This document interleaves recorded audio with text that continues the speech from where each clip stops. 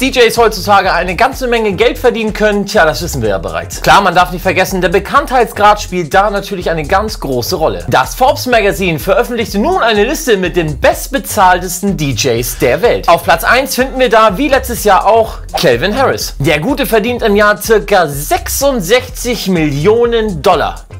Umgerechnet sind das immer noch 49,5 Millionen Euro. Mein lieber Scholli. Der zweite Platz wird von David Guetta eingenommen mit rund 30 Millionen Dollar. So Leute, nur mal so nebenbei. Das ist nicht mal die Hälfte von dem, was Calvin Harris verdient. Danach folgen Avicii und Tiesto mit jeweils 28 Millionen Dollar im Jahr. Steve Aoki mit 23 Millionen. Afrojack verdient rund 22 Mios. Und neu dabei ist der deutsche Produzent und DJ Z mit rund 21 Millionen Dollar im Jahr. Nicht im Ranking mit dabei ist Armin Armin van Buuren und auch sein holländischer DJ-Kollege Hartwill und das obwohl er aktuell Nummer 1 der DJ Mag Top 100 Liste ist. Fakt ist aber, und da müssen wir uns überhaupt keine Gedanken machen, verdienen tun die Jungs genug. Nicht ganz so viel verdienen aber eine ganz andere Kategorie von DJs. Thumb veröffentlichte eine Liste und zwar nicht mit den bestbezahltesten, sondern eher den Verlierern der DJ-Branche. Auf Platz 9 finden wir dort die DJs im Restaurant und Einzelhandel. Platz 8 sind die Hochzeits-DJs. Auf Platz 7 sind die Resident DJs. Ach, wo ich das sagen müsste, das finde ich ein bisschen scheiße, weil die kennen meist noch am besten ihre Gäste. Nummer 6 sind die Studentenparty-DJs. Platz 5 ist der Opening-DJ, also den, wenn ihr äh, zu früh aus Versehen im Laden seid und er der dann schon spielt. Das ist keine CD, meistens ist es ein DJ. Der ist das. Auf Platz 4 finden wir die DJs aus anderen Städten. Platz 3 ist der Motto Party DJ. Platz Nummer 2, Teilnehmer eines DJ-Contests. Und auf Platz Nummer 1 finden wir den Wohnzimmer-DJ. Aber das ist ja eh klar, dass der nicht so viel verdient. Mich würde das interessieren, wie ihr das so seht. Sagt ihr, die Gagen der großen DJs ist irgendwo gerechtfertigt, weil so ein Justin Timberlake hat auch mal so viel Kohle bekommen. Aber ich finde, so ein Resident DJ sollte doch mehr Kohle kriegen. Eure Meinung einfach mal unten in die Kommentare.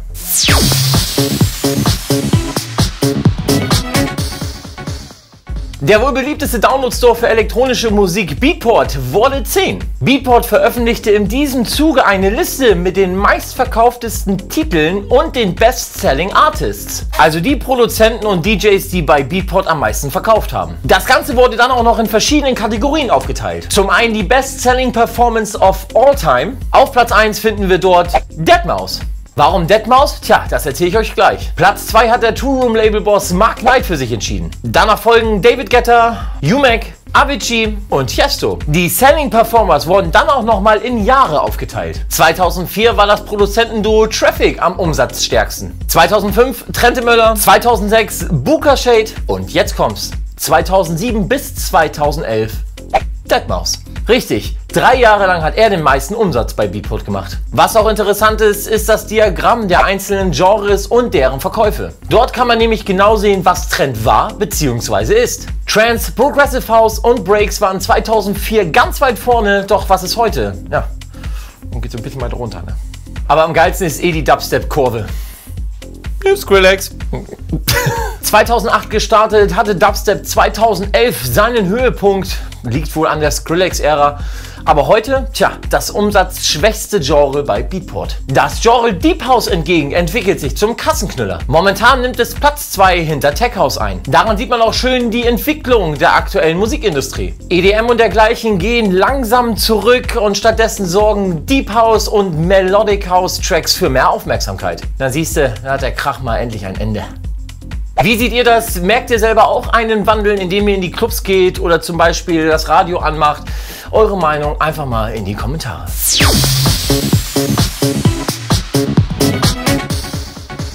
Wenn es ein Thema gibt, wo niemand momentan drumherum kommt, dann ist es wohl die Ice Bucket Challenge. Gefühlt jeder kippt sich einen Eimer Wasser über den Kopf, um dann wiederum drei weitere zu nominieren, die das gleiche tun. Okay, eins muss man dazu sagen. Es kann bei Facebook schon sehr nerven, wenn die Timeline voll ist mit irgendwelchen selbstgedrehten Videos. Aber scheißegal. Erstens Leute, es ist für einen guten Zweck, beziehungsweise sollte es sein. Denn ALS ist, wie mittlerweile jeder weiß, eine schwere Erkrankung des motorischen Nervensystems. Deswegen auch Eiswasser. Verstehst du? Schockstarre. Nerven. Schön finde ich, dass mittlerweile auch für andere Projekte gespendet wird. Denn seit letzter Woche Mittwoch wurden mittlerweile über 94,3 Millionen Dollar an die ALS-Stiftung alsa.org gespendet. Und Leute, alleine das ist schon der Hammer. Zweitens, klar nervt es mit den Clips auf der Timeline. Aber Leute, das ist Facebook. Ein soziales Netzwerk. Wenn es dir nicht passt, melde dich einfach ab. Kannst du nämlich auch nicht, ne? Süchtig nennt man das. Sucht kann man auch behandeln lassen. Drittens, Wasserverschwendung. Das Thema ist schon wieder äh, etwas schwieriger. Auf der einen Seite stimmt es natürlich, dass es in anderen Ländern an sauberem Trinkwasser mangelt. Aber warum deswegen gleich eine ganze Aktion in Frage stellen? Also ich meine, jeder von uns duscht. Hoffe ich zumindest, dass jeder von euch einmal am Tag duscht.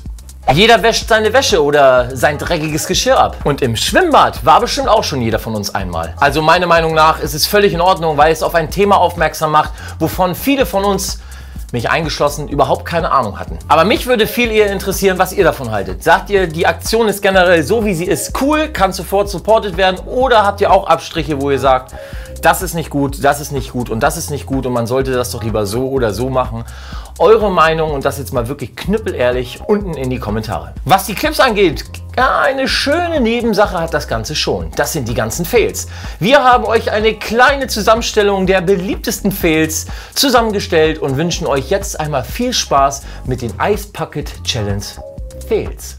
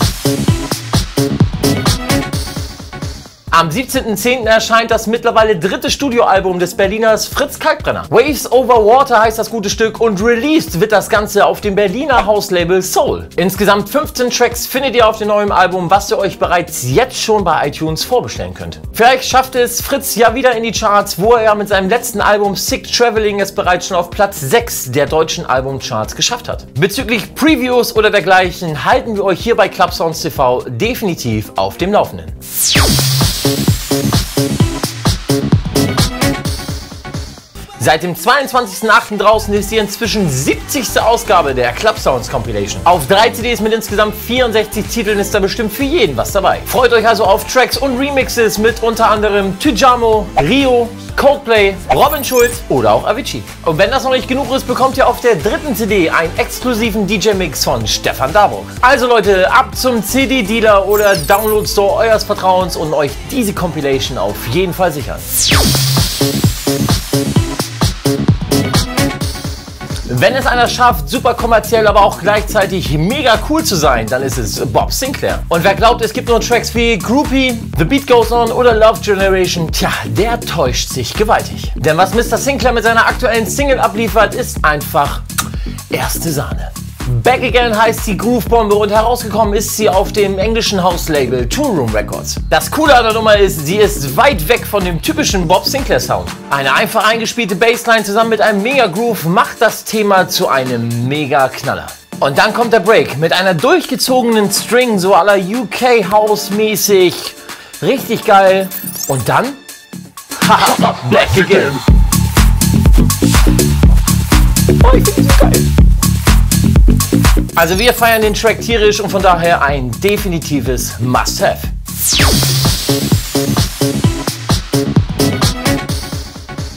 Spada ist vielleicht einigen von euch noch nicht ganz so bekannt, aber ich sag's euch, spätestens nach diesem Track, tja, wird er in aller Munde sein. Feels Like Home heißt die neue Single, die seit letzter Woche erhältlich ist. Moment mal, äh, den Track kenne ich doch. Das kann gut sein, denn Feels Like Home hieß vorher Red Velvet Dress und kam bereits schon im März diesen Jahres auf den Markt. Was hat sich geändert? Na gut, es sind Vocals auf dem Thema und zusammen mit einem super schönen Barkamat Remix ist das neue Release perfekt. Latino-Gitarre zusammen mit einem groovigen Beat passt einfach. Wer also noch ein bisschen Rest-Sommer-Feeling braucht, der sollte sich Feels Like Home auf jeden Fall sichern.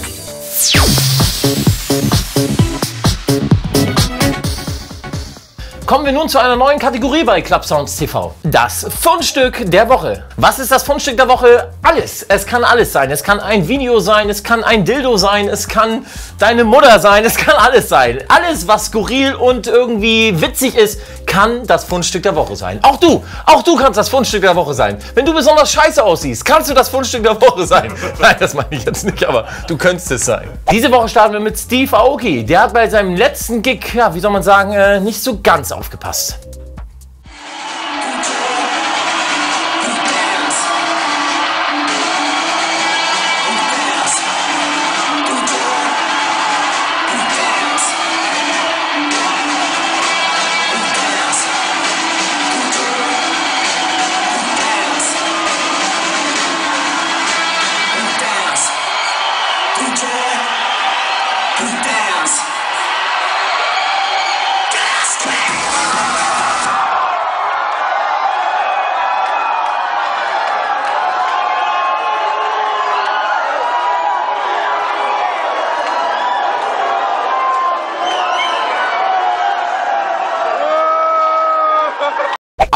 Würde ich sagen. Naja, irgendwann musste das ja mal passieren. Ich meine, ganz ehrlich, da hätte ich mich jetzt auch nicht drauf gestellt. Wenn ihr zu Hause ein Fundstück habt, wo ihr sagt, Mensch, das muss die ganze Welt sehen, kein Problem. Schickt uns eine E-Mail mit einem Foto oder mit einem Video. Meinetwegen auch gerne ein Paket. Aber vorerst erstmal die E-Mail an, Moment, dfsdw at high-5.fm. Tja, mit ein wenig Glück ist vielleicht euer Fundstück dann in der nächsten Sendung mit dabei. Ihr bekommt sogar etwas dafür. Für den oder diejenige, die es schaffen, bei uns in der Sendung aufzutauchen, bekommt ihr entweder eine Club Sounds CD, eine After Hour CD, eine, was haben wir hier noch, Urban Dance CD oder eine Dream Dance CD.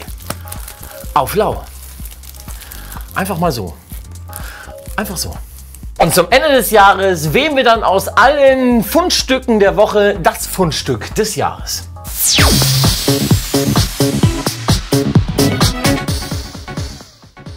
Kommen wir nun zum Highlight der Woche auf High Five Radio. Am Samstag, den 6.9. läuft um 22 Uhr die Ultra Music Radio Show. Diesmal mit Klingale. Tja Leute, das ist der perfekte Einstieg ins Partywochenende. Für alle diejenigen, die Klingale nicht kennen, mit ihrem Nummer 1 Hit Jubel sind die beiden förmlich durch die Decke gegangen.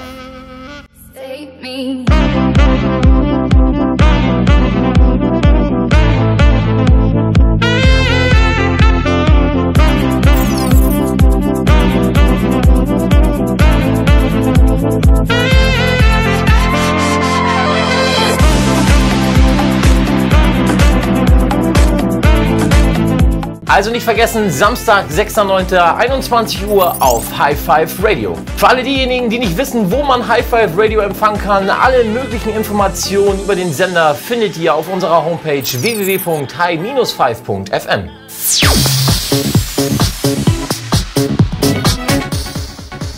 Am Samstag, den 6.9. findet im Aladdin in Bremen Zirkus Elektro statt. Äh, Zirkus was? Zirkus Elektro. Tja, was erwartet euch da? Drei Floors vollgepackt mit einem sehr geilen Line-Up. Mit dabei sind unter anderem DBN, Jules und Scott Sparks, In Petto, Steve Norton, Plastic Funk, Steel und Benze. Tja, und nicht zu vergessen, Bastian van Schielt und viele, viele, viele mehr. Los geht's um 22 Uhr und Tickets bekommt ihr noch im Vorverkauf für 18 Euro, an der Abendkasse für 22. Aber Leute, wir wären nicht Clubsounds TV, wenn wir nicht noch was zu verlosen hätten. Wir verschenken drei Tickets für Zirkus Elektro und das einzige, was ihr dafür tun müsst, ist eine E-Mail schreiben an win at high-5.fm. Stichwort Zirkus Elektro. Ganz wichtig, schreibt eure Telefonnummer und euren vollen Vor- und Zunamen rein, damit wir euch auch kontaktieren können. Und mit ein bisschen Glück seid ihr vielleicht dabei am 6.9. in Bremen im Aladdin bei Circus Elektro. Das waren die Event-Tipps für diese Woche. Ich wünsche euch ein wunderschönes Wochenende. Lasst es richtig schön knallen. Das war auch Clubsounds TV für diese Woche.